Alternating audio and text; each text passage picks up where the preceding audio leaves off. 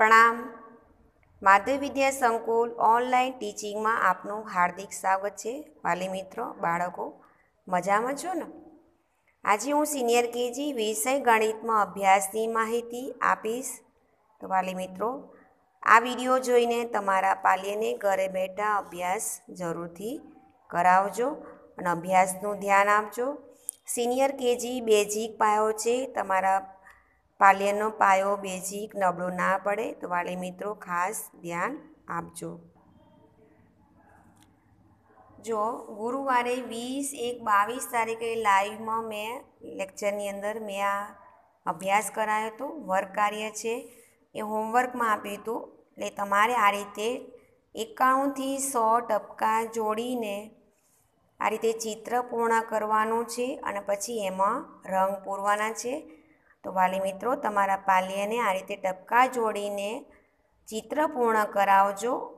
બોલતું જવાનું અને કરતું જવાનું પછી એની અંદર તમારા પાલ્યને રંગ પૂરાવજો. હવે નીચે જુઓ, વચ્ચેની સંખ્યા લખો. હવે વચ્ચેની સંખ્યામાં જુઓ નવ્વદ બગડ બાણું પછી શું આવે? નવ્વદ તગડ ત્રાણું. વચ્ચેની સંખ્યા એટલે પછીની સંખ્યા તમારે સમજી લેવાની વાલી મિત્રો, તમારા પાલ્યને આ રીતે સમજાવજો. નવ્વળ પાંચ પંચાણું, પછી નવ્વળ છગળ છન્નું. નવ્વળ આઠ અઠ્ઠાણું, પછી બે નવડા નવ્વાણું. તો આ રીતે સ્વાધ્યાય પોથીમાં વચ્ચેની સંખ્યા છે. હવે જુઓ ખૂણતા ખૂણતાંગની અંદર મહાવરો આવી જશે અને એકથી સો અંક પણ આવી જશે. આગળની પાછળની વચ્ચેની સંખ્યા પણ ખૂટતા અંકમાં આવી જશે. હવે જો આપણે સલંગથી સો એ એકાણુંથી સો લખવાના છે. એ પ્રમાણે જે અંક ના લખ્યા હોય એ આપણે લખવાના છે. એકાણું, બાણું ત્રાણું તો લખેલા છે એટલે આપણે લખવાના નહીં. ત્રાણું, પછી ચોરાણું, પછી પંચાણું છન્નું લખેલા છે આપણે લખવાના નથી. છન્નું પછી સત્તાણું, અઠ્ઠાણું, નવ્વાણું લખેલા છે આપણે લખવાના નહીં. નવ્વાણું પછી છેલ્લે શું આવશે? સો. તો આ હતા ખૂટતાંક હવે બીજા ખૂટતાંક જુઓ. એકાણું, બાણું, ત્રાણું ચોરાણું લખેલા છે એટલે આપણે લખવાના નહીં. ચોરાણું પછી પંચાણું, છન્નું, સત્તાણું છે એટલે આપણે લખવાના નહીં. અઠ્ઠાણું, નવ્વાણું અને સો લખેલા છે એટલે આપણે લખવાના નથી. તો આ રીતે છે ખૂટતા અંક.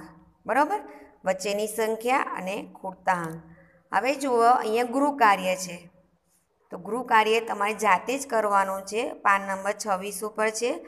હું સમજાવી દઉં છું જવાબ કહી દઉં છું. પછી વાલી મિત્રો તમારા પાલ્યાને એ રીતે તમારે જાતે એને ગૃહ કાર્ય કરવા દોજો. નવ્વડ તગડ ત્રાણું પછી શું આવે? તો એ નવ્વડ ચોગડ ચોરાણું લખવાના. નવ્વડ છગડ છન્નું પછી શું આવે? નવ્વડ સાતર સત્તાણું લખવાના. નવ્વડ ચોગડ ચોરાણું પછી શું આવે? નવ્વડ પાછળ પંચાણું લખવાના. નવ્વદ આઠ અઠ્ઠાણું પછી શું આવે? બે નવડા નવ્વાણું લખવાના.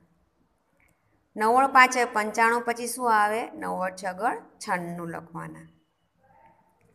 એ જ રીતે જુઓ પહેલાંની સંખ્યા.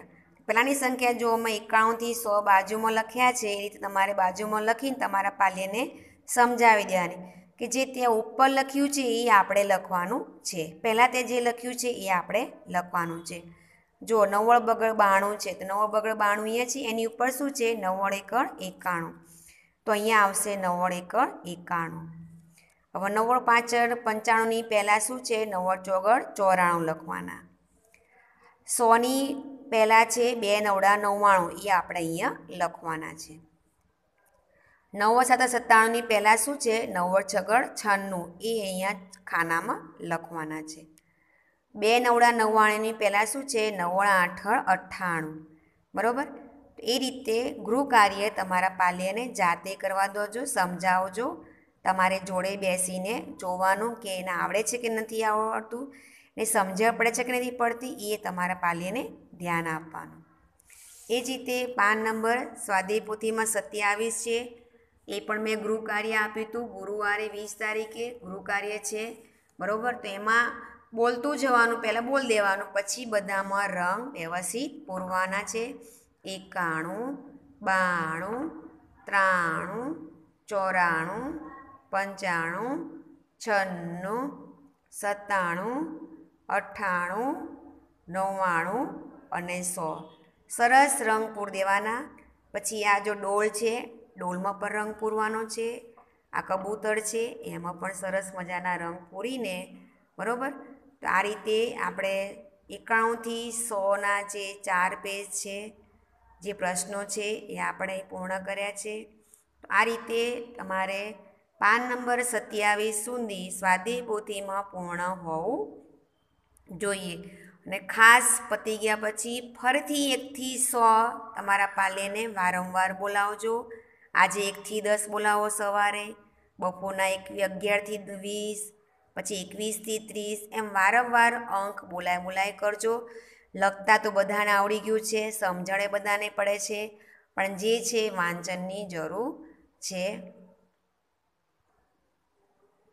જો નોટની અંદર ગુરુવારે સત્યાવીસ, એક બાવીસ ગુરુવારે આ રીતે સાચા અંક ફરતે ગોળ કરાવવાના છે, તો આ રીતે તમારે વાલી મિત્રો તમારા પાલ્યને આ રીતે પ્રશ્ન બની આપવાનો, પછી જાતે એને સાચો અંક પ્રત્યે ગોળ કરે, ખાસ તમારે ધ્યાન આપવાનું.